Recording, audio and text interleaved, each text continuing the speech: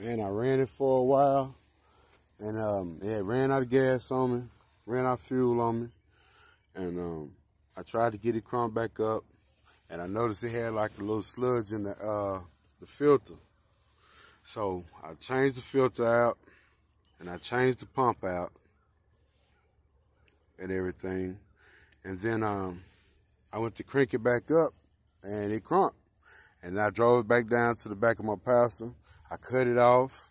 I put got through doing what I was doing, went to crank it back up, and it didn't crank anymore. And I mean, I've been trying to get it to crank. I hit it with a little starter fluid. It still won't crank. I pumped all the bubbles out of the uh, the air filter and everything, and that joker's still not cranking. So I'm trying to find out, see if you guys might would know what's going on with it.